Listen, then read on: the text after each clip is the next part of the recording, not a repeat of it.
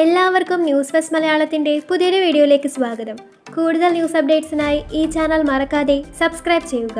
നടിയെ തട്ടിക്കൊണ്ടുപോയി പീഡിപ്പിച്ചെന്ന കേസിൽ ജാമ്യം റദ്ദാക്കാൻ പ്രോസിക്യൂഷൻ നൽകിയ അപേക്ഷയെ എതിർത്ത് നടൻ ദിലീപ് വിചാരണ കോടതി മുൻപാകെ ഹർജി നൽകി. വിചാരണ വേളയിൽ ദിലീപ് സാക്ഷികളെ സ്വാധീനിച്ചു മൊഴിമാറ്റി തെളിവുകൾ നശിപ്പിച്ചു തുടങ്ങിയ ആരോപണങ്ങൾ ഉന്നയിച്ചാണ് ജാമ്യം റദ്ദാക്കാൻ പ്രോസിക്യൂഷൻ അപേക്ഷ സമർപ്പിച്ചത്.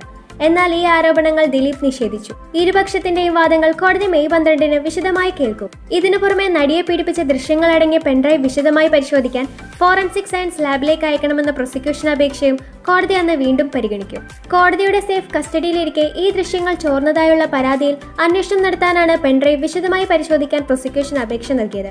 എന്നാൽ ഇക്കാര്യത്തിൽ വ്യത്യസ്ത നിലപാടാണ് വിചാരണ കോടതി സ്വീകരിച്ചത്. ദൃശ്യങ്ങൾ ഒരു തവണ പരിശോധിച്ച സൈബർ വിദഗ്ധനെ സാക്ഷിയായി വിസ്തരിച്ച കാര്യം കോടതി ചൂണ്ടിക്കാട്ടി. എന്നാൽ കോടതിയിൽ നിന്ന് ദൃശ്യങ്ങൾ ചോർന്നതായുള്ള അതിജീവിതയുടെ പരാതിയിൽ വ്യക്തത വരുത്താൻ പെൻഡ്രൈവ് വിശദമായി പരിശോധിക്കണമെന്നാണ് പ്രോസിക്യൂഷന്റെ നിലപാട്. പ്രതിഭാഗം അഭിഭാഷകൻ പ്രോസിക്യൂഷൻ സാക്ഷിയെ മൊഴിമാറ്റി പറയാൻ പഠിപ്പിക്കുന്ന ശബ്ദരേഖ ചോർന്ന സംഭവത്തിൽ അന്വേഷണം വേണമെന്ന വി. സേതുനാഥിന്റെ ഹർജിയും കോടതി മെയ് പന്ത്രണ്ടിന് പരിഗണിക്കും. അപ്പോൾ കൂടുതൽ ന്യൂസ് അപ്ഡേറ്റ്സിനായി ഈ ചാനൽ മറക്കാതെ സബ്സ്ക്രൈബ് ചെയ്യുക.